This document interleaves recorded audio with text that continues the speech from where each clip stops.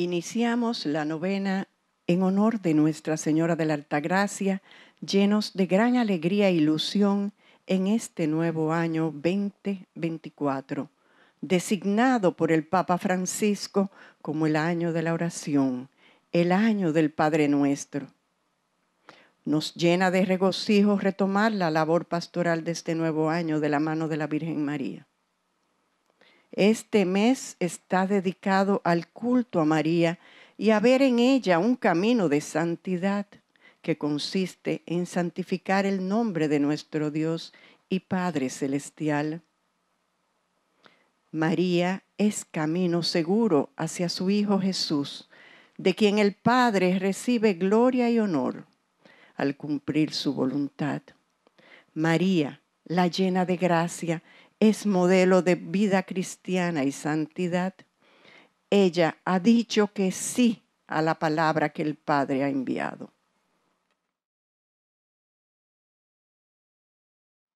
Segundo día de la novena a Nuestra Madre de la Alta Gracia.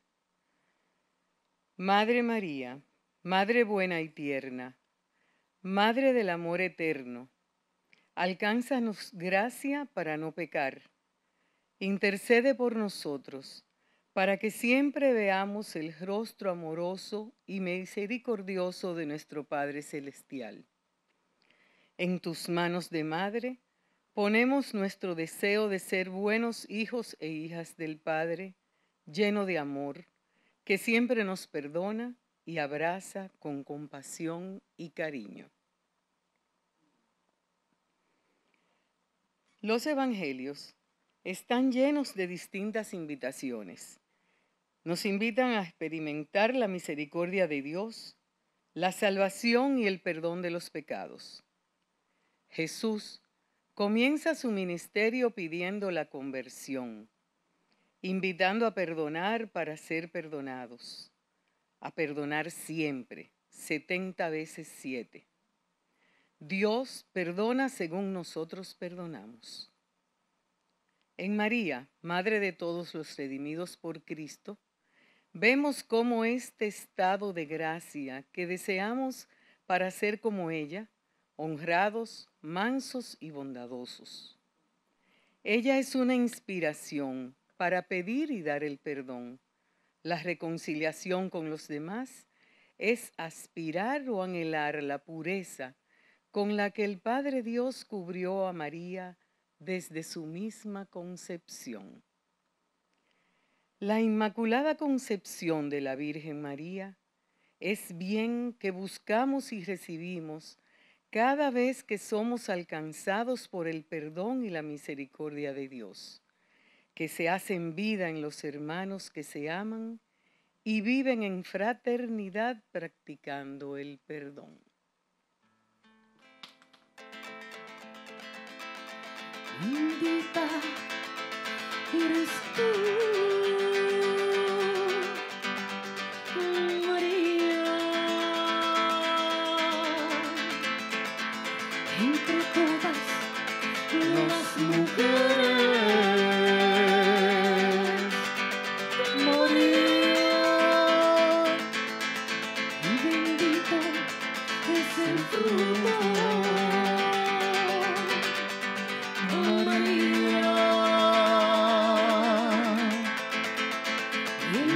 de tu seno.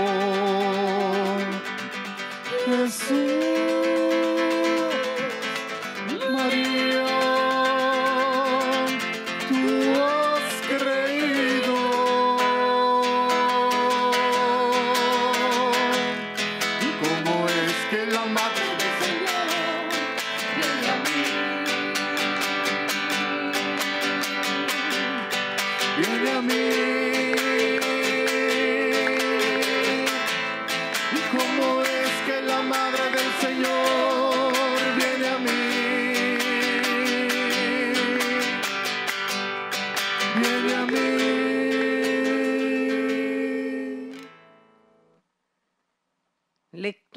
del Santo Evangelio según San Mateo. Por eso, El reino de los cielos se parece a un rey que decidió ajustar cuentas con sus sirvientes. Ni bien comenzó, le presentaron uno que le adeudaba diez mil monedas de oro. Como no tenía con qué pagar, mandó el rey que vendieran a su mujer, sus hijos y todas sus posesiones para pagar la deuda.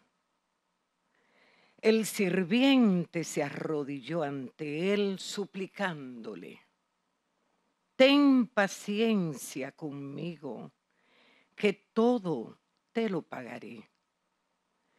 Compadecido de aquel sirviente, el rey lo dejó ir y le perdonó la deuda.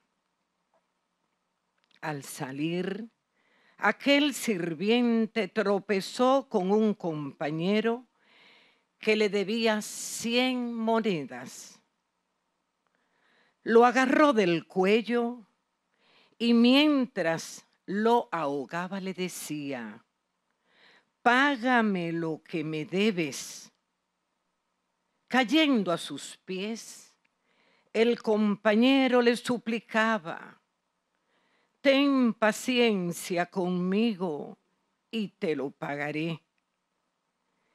Pero el otro se negó y lo hizo meter en la cárcel hasta que pagara la deuda. Al ver lo sucedido, los otros sirvientes se sintieron muy mal y fueron a contarle al rey todo lo sucedido. Entonces el rey lo llamó y le dijo, sirviente malvado, toda aquella deuda te la perdoné porque me lo suplicaste. ¿No tenías tú que tener compasión de tu compañero como yo la tuve de ti?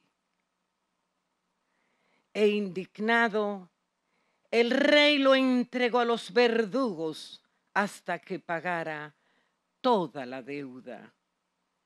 Así los, trataré, los tratará mi Padre del cielo si no perdonan de corazón a sus hermanos. Palabra de Dios, palabra del Señor. Gloria a ti, Señor Jesús.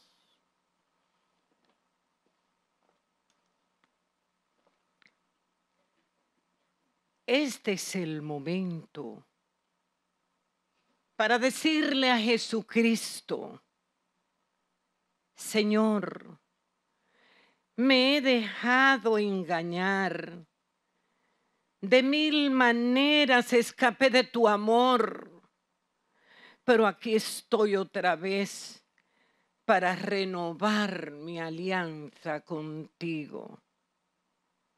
Te necesito. Rescátame de nuevo, Señor. Acéptame una vez más entre tus brazos redentores nos hace tanto bien volver a Él cuando nos hemos perdido. Insisto una vez más, Dios no se cansa nunca de perdonar.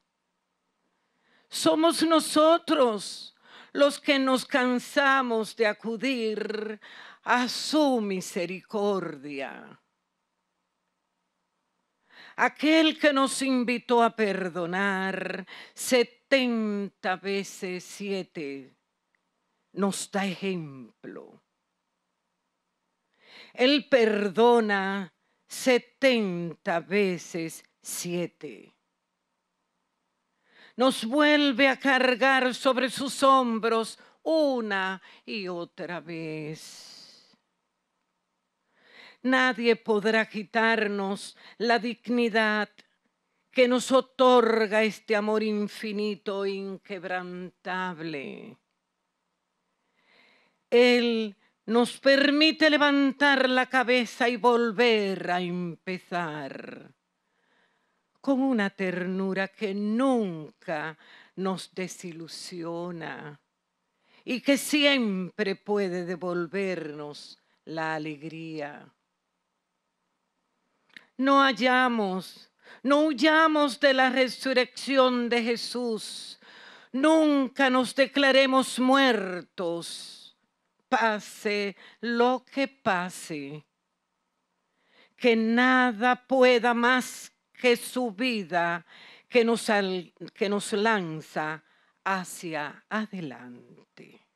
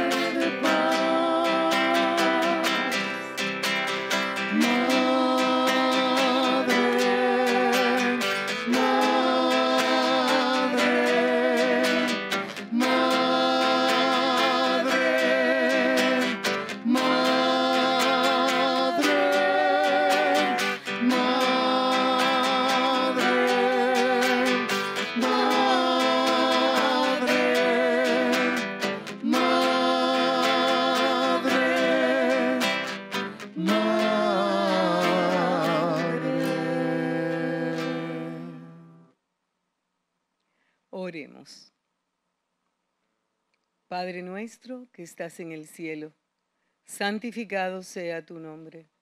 Venga a nosotros tu reino y hágase tu voluntad en la tierra como en el cielo. Danos hoy nuestro pan de cada día.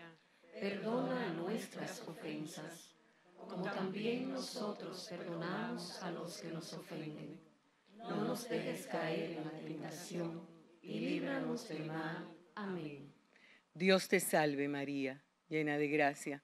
El Señor está contigo. Bendita entre las mujeres y bendito el fruto de tu vientre, Jesús. Santa María, Madre de Dios, ruega por nosotros pecadores, ahora y en la hora de nuestra muerte. Amén.